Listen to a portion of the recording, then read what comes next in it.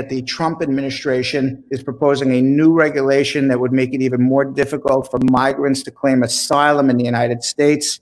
According to a draft rule released by the Department of Homeland Security, the latest proposed rule, which still needs to undergo a public comment period, it's not going to take effect immediately, includes a change where an individual's asylum claim could face greater scrutiny if the person traveled through at least one country while on the way to the US.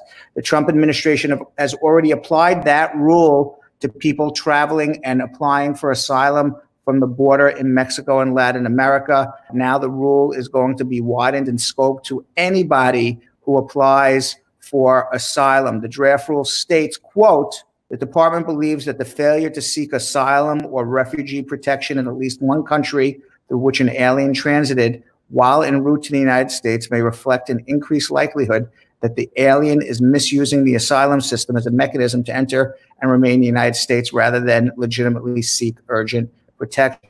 Now, the proposed regulation also says that living unlawfully in the United States for more than a year prior to filing for asylum would be considered a significant adverse factor, despite the exceptions that currently exist. So, right now, the law requires you to apply for asylum within one year of seeking to do so. Probably how that rule is going to work, that third country, if somebody travels to the United States to apply for asylum at the airport in the US, but it doesn't take a direct flight, but maybe flies through Germany or another country to change planes to come to America, you may be now be denied asylum under this new rule because maybe the government's going to say you should have applied for asylum in Germany. And even if you do take a direct flight here to the United States, you have to apply within one year, which has always been the rule. But there has always been a rule that says if something has materially changed after one year, something has changed, then you can always apply later on. So, for example, you know, I see this happen a lot. You know, somebody enters the United States, mm-hmm. is, is a homosexual and living in the closet, hasn't come out yet and then comes out years later and as a result gets threatened if they go back home that that's something that has changed uh, since the first time they came to the united states. Uh, that would be a case where you would still be able to file for asylum. Now they're saying the fact that you lived here illegally for more than a year would be an adverse factor.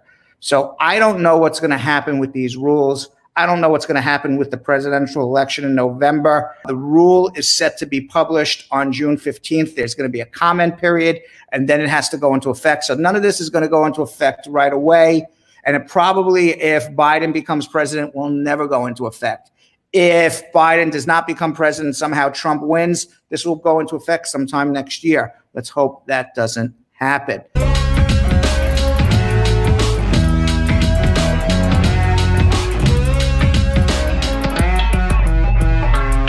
Thanks for watching. For more Brad Show Live, like and subscribe to our YouTube channel.